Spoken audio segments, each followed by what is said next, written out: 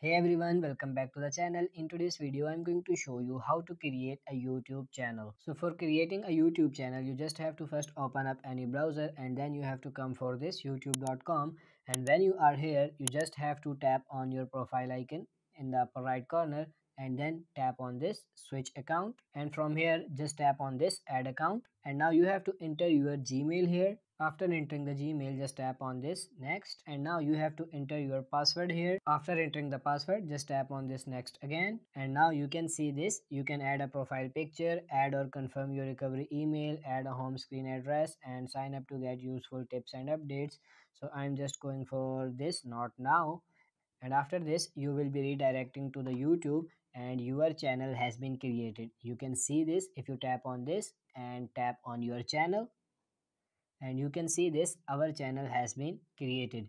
You can go for this customize channel here. And now from here you can do some basic editing like you can if you go for this basic info you can change your channel name here. You can add a description here. You can add your channel language. You can see this your channel url and you can add the links here like your facebook instagram and you can add your contact information here.